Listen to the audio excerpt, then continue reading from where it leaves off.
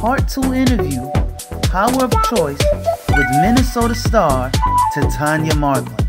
Let's continue to take a deeper dive or a further look into how a star was born. No say we are for win, yeah. Yo, Star Material. No say we are for win. Yo, Brahma. No say we are for win, yeah.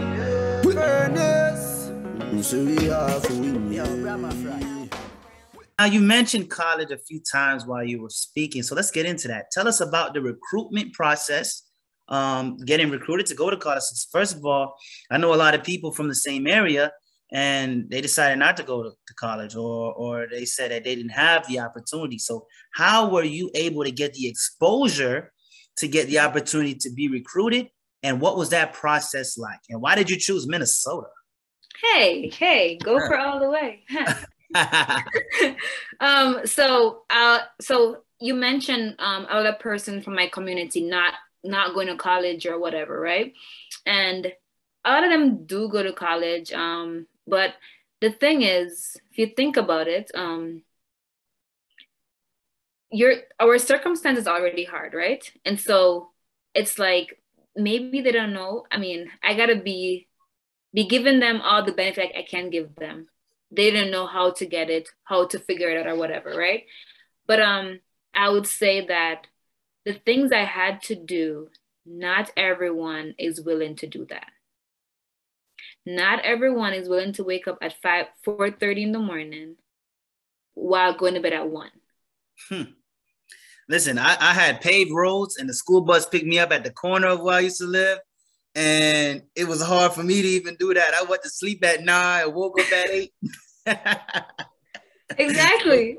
Go ahead, go ahead. yeah so not everyone was willing to um you know wake up that early to go to school and then go to bed that late you know while because the funny thing is in high school i had to i mean you could do anything you want in high school you could bs your stuff you could do good whatever you want to do but growing up i always wanted to be the best. I think that's like a little um you know selfish thing sometimes. I wanted to be the best in all i do. And so in school we did this system where you like first second third like what your grade were like you- you're the top in your class or whatever right? And so through um basic straight to um eighth grade i would come first in my class. Um and that was something i would as i would work so hard because guess what? And my mom and my family they're like they're like geniuses because they didn't have it right? They didn't have money to just give me everything i want.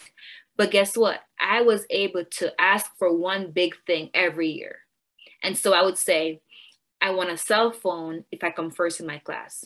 I want a computer if i come first in my class. I want this i want that i whatever that one big thing is i would ask for it but i would tie it to coming first in my class so in grade nine, I came second in my class.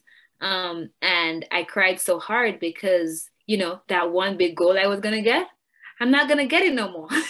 so, you know, I was disappointed. But um, one thing my uncle said to me, he said, Your uncle, this is Shorty you talking about? yeah, mhm.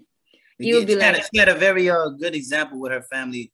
Her family really, really set a good example for her. It was really, it's amazing. But anyway, They continue. did. Yeah, my uncle said to me that day because he took me and my grandma to my school to get my report card, Mhm. and I was crying so hard. So he was like, because he didn't come in to the to the office with us, and so when I got in the car and I was crying, he was like asking asking his mom, my grandma, like what happened, and she was like, oh, she came second.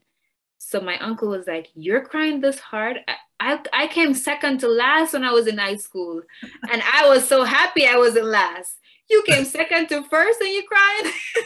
so those kind of things, even though I was crying, I was like kind of trying to laugh, but I was like, I couldn't laugh because I was like still so hurt about it.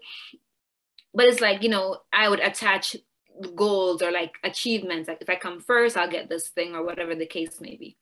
So um heading to college now. So when I was in grade 11, I realized that, um, well, grade 10, I switched events from the sprints to the 400. And I was getting so good at it. Like every weekend, I'll be doing better and better and better.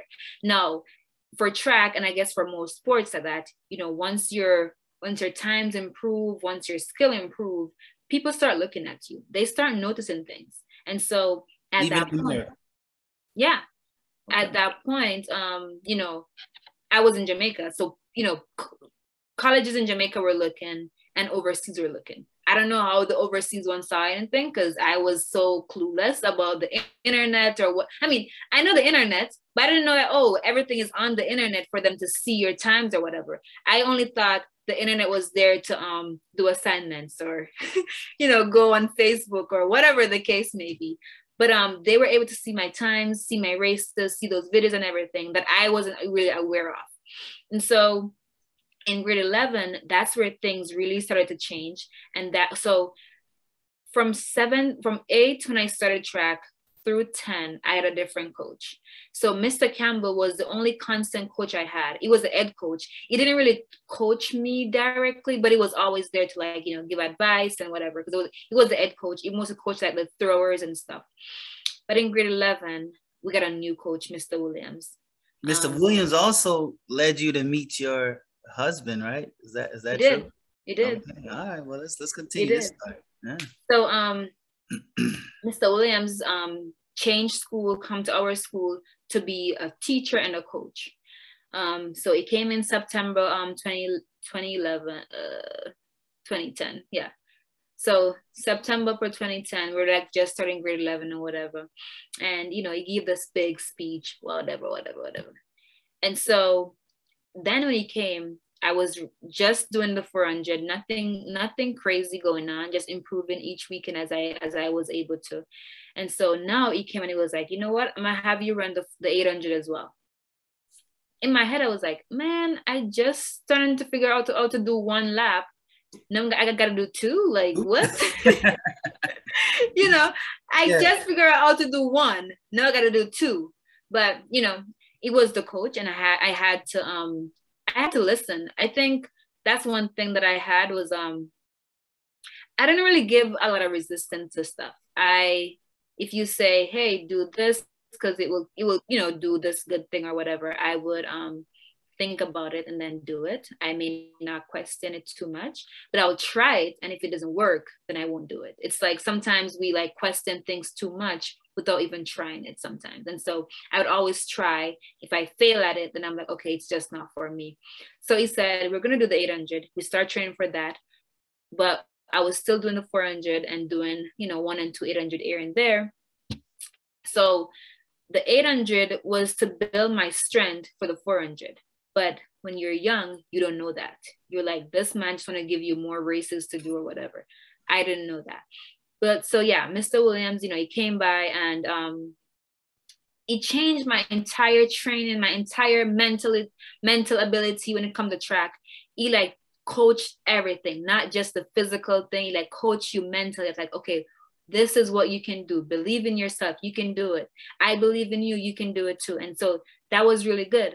But i guess one of the big thing was both Mr. Williams and Mr. Campbell, they t- they started to tell us, you guys can go to college for free. You can get a scholarship and go to college for free.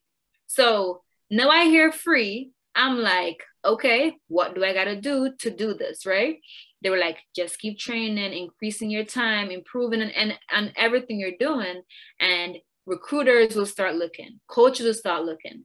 And so I listened because I was like, First of all, I'm in grade 11. I'm going to do CXC exams. It's college next, right? Where is my mother going to find the money to send me to college? Now I start thinking like an adult because I was like, yo, I got to help my mom figure this out because I'm going to college. I don't want to just go to high school and be done like everybody else that I know, like just go to high school and then start working. Like, no. Because then the thing is, when I grew up in a rural area and I see people just do the same routine all the time.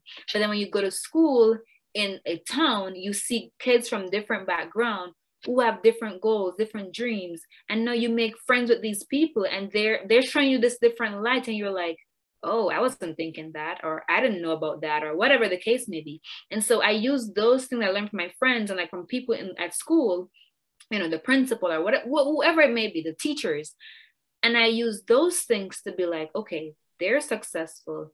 And my coach tell me that I can go to college and be successful. Then what I gotta do is just train, train and run. That that's all I gotta do. Keep my grades up, train and run. And so I did that. And then mid, well, so mid grade 11, almost end of grade 11, recruiters start coming around. You have pre, you know, coaches coming to track meets to watch.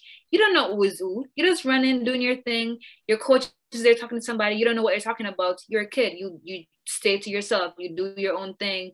Don't go mix up in big people's business. Like, you know, you do your own thing. But then we had our Eastern Championship at grade 11. And, you know, I did really good there. Um, it was that like a breaking point of like, okay, you actually have this in you. My times improved. And so um North Northwestern, no, I forget the college all the time. It's in Florida. Nova Southeastern University. Yeah. Yes. Nova Southeastern. Um, the coach there, she came, she came to a meet and um, you know, she was recruiting. She was like, Oh, I want you to come to, to my school, whatever, whatever, whatever. And she did her pitch. She showed us like all the little things that you can do there, all this, all these nice things, to be honest. And like, you know, the money package behind it, like all these good things. And I was like, okay. And my coach was like, don't close off your options yet. You know, just like, just keep running. More people are going to be coming. More are going to be coming. And so, you know, I was there. I inspire. Push more people higher. You sit back, you do the work, you get what you desire. Can do what we do in a short space of time, make it look so easy. No one anybody can ask anybody. If I say it easy, it would have be for everybody. No little you can build feet, don't got the skill feet, stay out of the way we are. And everybody can do what we do in a short space of time, make it look so easy. Yeah. No one anybody can ask anybody. If I say it easy, it would have be for everybody. No little you can build feet, don't got the skill feet, stay out of the way we are.